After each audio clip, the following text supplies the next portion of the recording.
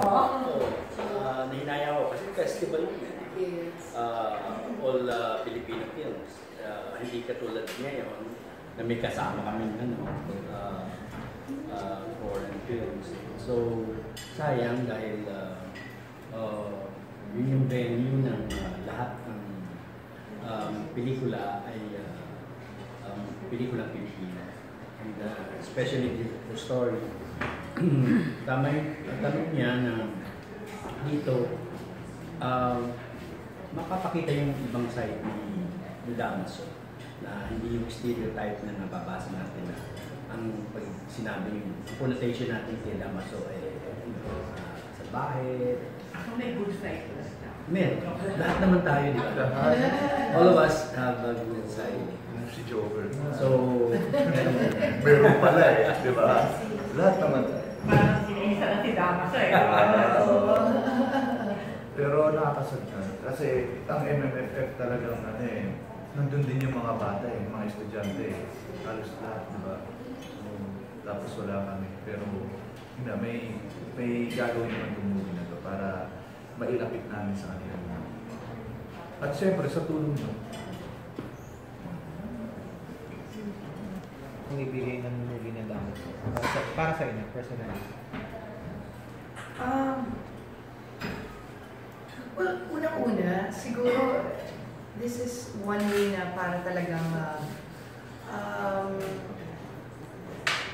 like what I said, para siyang review ng mga estudyante kasi nakakalimutan na natin yung story nila, di ba? And I think some, a few of the school of, of the schools na hindi na rin na kapag hindi na rin nagiging parte yung Noli Me Tangere. So I guess this is one way na para ah, malaman nila yung kabuuan ng uh, Damaso, each characters. Um, kasi each characters may kanya-kanya talaga silang uh, uh, kanya-kanya silang makukuhang mapulot or lesson each characters. Siguro, um, kay, kay Sisa, sa character ko, is just to be, um, to be strong and to survive sa lahat ng uh, mga pagdadaanan sa buhay kasi mabibigat yung mga pinagdaanan niya. So, kailangan talaga natin maging matatag ah, sa lahat ng problema ang dumadating sa buhay natin. Para sa character ko yun. But for Elias, I don't know. Vegas natutunan is uh, para sa akin very uh, hero. Yeah, yeah. Oo.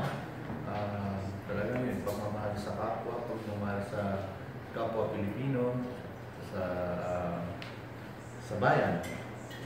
Ako, ano, di parang Filipal, At hindi lang sa iba, all of them. Oo. Pinag-aralan ko talaga. Di ba? O, at least ikaw, di ba? Kasi karamihan talaga, mapapasok ko to sa anak ko. Na kailangan panoorin ng anak ko to, medyo, pwede ba? Pwede sa dalawang katauhan na rin Oo. Tita Lu, ano ba yung sa aral naman as your character? si Tasio, uh, ako sa tingin ko kasi, siya yung the soul of uh, of the the nation. Na siya yung ano eh, uh, observant lang siya but uh, meron siyang comment sa mga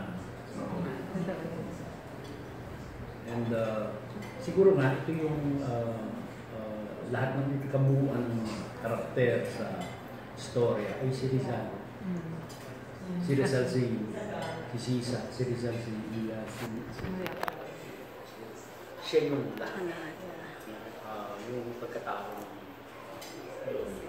And then, yung si Damaso, uh, yun yung bansa na nung panahon nila ay nga, So, uh, siguro pag pagpapanood dito, lalawakan lang talaga ng mga manonood ang kanilang kaisipan na hindi dahil sa mga personalidad, kundi tutugma nila sa nangyayari ng panahon ng uh, Kastila, panahon ng Rizal, panahon ng Bayan. So, magandang paglaro ang hindi nila kaisipan. Ano, last question.